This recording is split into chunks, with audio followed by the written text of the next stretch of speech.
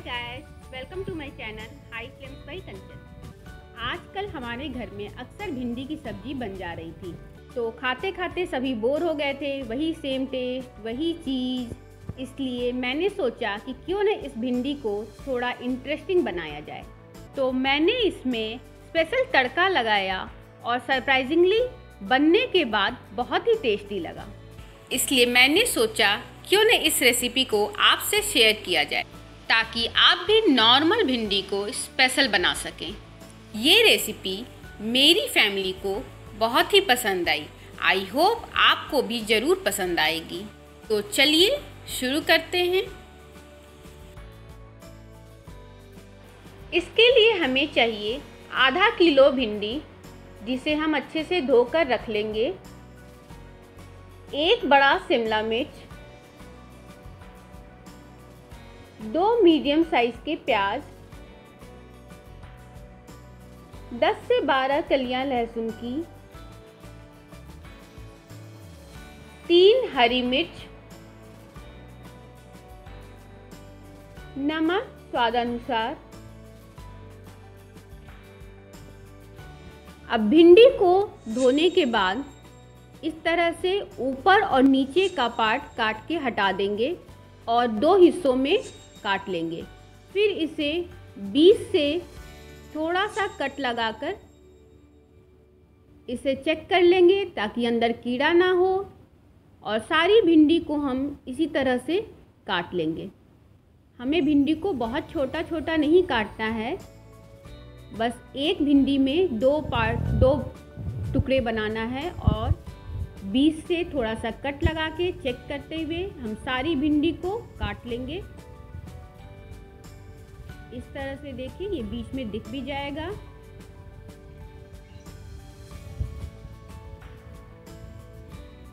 अब इसी तरह से हमें सारी भिंडी को काट लेना है। ये देखिए, यहाँ पर मैंने सारी भिंडी को काट कर रख लिया है।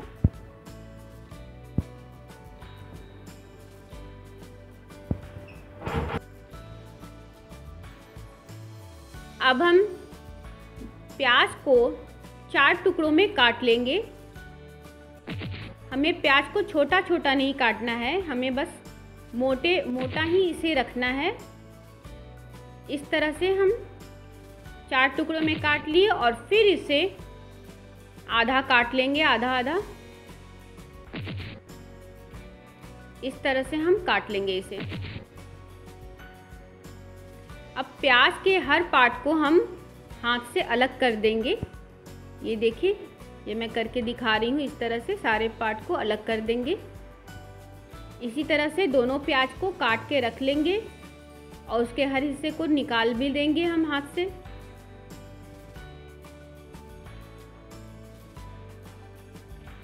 अब हम शिमला मिर्च को भी काट लेंगे। इसे भी हमें बड़े टुकड़ों में ही काटना है, छोटे टुकड़ों में नहीं काटना है।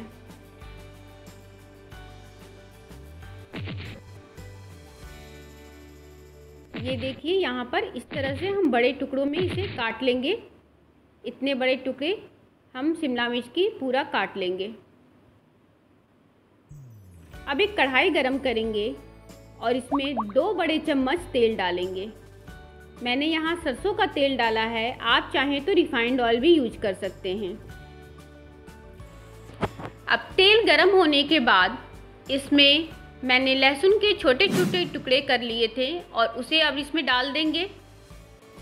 और इसके बाद हरी मिर्च को भी बीज से मैंने दो टुकड़े में काट लिया था, उसे भी इसमें डाल देंगे। थोड़ा सा मिक्स करने के बाद अब मैंने जो प्याज काटा है बड़े टुकड़ों में, उसे भी इसमें हम डाल देंगे।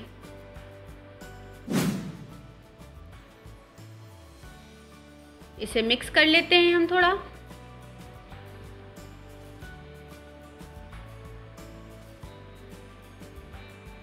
अब इसमें हम कटी हुई भिंडी डाल देंगे और इसे हमें ढककर नहीं पकाना है।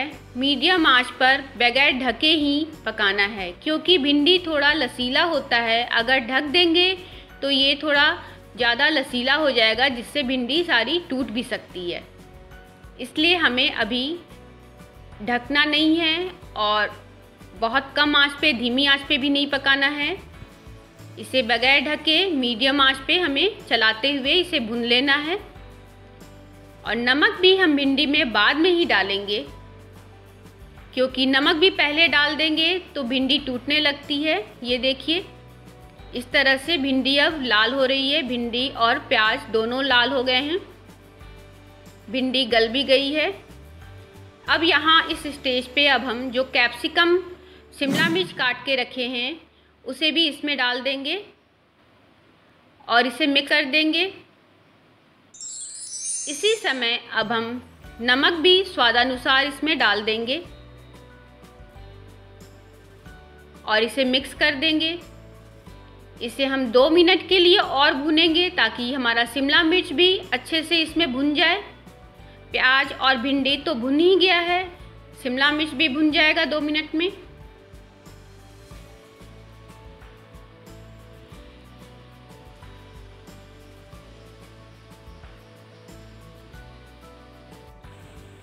अब हम इसमें लगाएँगे अपना स्पेशल तड़का सेजवान फ्राइड राइस मसाला ये मसाला भिंडी के साथ बहुत ही अच्छा लगता है। यहाँ पर मैंने 20 ग्राम का पैकेट लिया है और ये पूरा मसाला इसमें डाल देंगे। अभी पहले दो बड़े चम्मच इसमें मसाला स्प्रिंकल करके मिक्स कर देंगे और उसके बाद बचा हुआ सारा मसाला भी इसमें डाल देंगे। ये मैंने मिक्स कर लिया। और फिर इसमें बचा हुआ मसाला भी पूरा इसमें डाल देंगे। और फिर इसे भी हम अच्छे से मिक्स कर देंगे। अब ये चटपटा सेजवान भिंडी बिल्कुल रेडी है। इसे आप गर्मा गर्म लच्छे पराठा, रुमाली रोटी, चपाती के साथ खाइए, ये बहुत ही टेस्टी लगता है।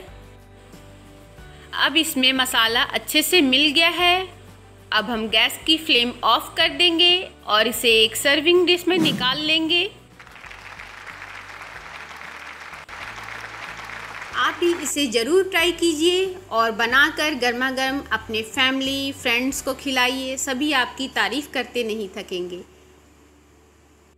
सो डू ट्राई दिस अगर मेरी वीडियो आपको पसंद आए तो प्लीज़ लाइक करना ना भूलें और अगर मेरे चैनल को अभी तक आपने सब्सक्राइब नहीं किया है तो जल्दी से नीचे लाल रंग के सब्सक्राइब बटन पर क्लिक करें और अपना फीडबैक कमेंट सेक्शन में ज़रूर दें। आपको इसी तरह की और भी टेस्टी एंड इजी रेसिपी की नोटिफिकेशन चाहिए तो वीडियो के नीचे बेल आइकन को ज़रूर क्लिक करें।